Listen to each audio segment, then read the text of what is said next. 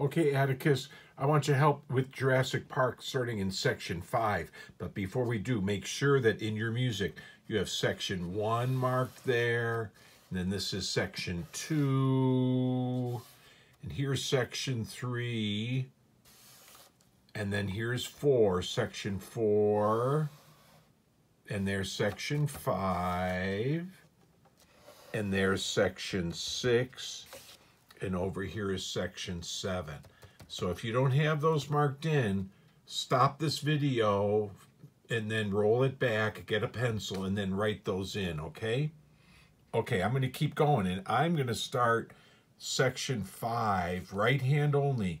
C, B, C, G, F, C, B,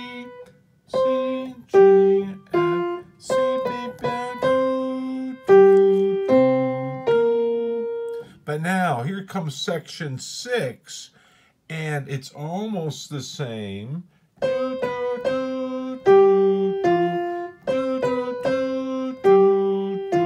But instead of do, do, do, do, don't do that. Instead, come on down to G, D, F, E, D. And then it does, there's three more notes in that section. G, D, F. So, and then it goes section seven. G, D, F, E, D. And then instead of do, do, do, it goes jump up F, A, B and then finish up with a C so it sounds finished. Okay, now before I uh, end this, let's take a look at the other hand. So it's one,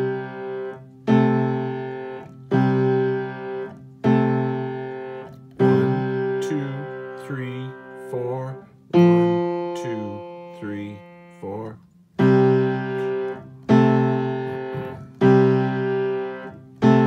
Now it changes. Instead of there, it goes up to low G and middle C. Then G and B. And then B flat. And then as long as your pointer finger is there, just use three, four, five on A, G, F. And then a G. And then finish up with a C chord. Okay, in the next video, I'll show how it all fits hands together for sections five, six, seven. Bye-bye.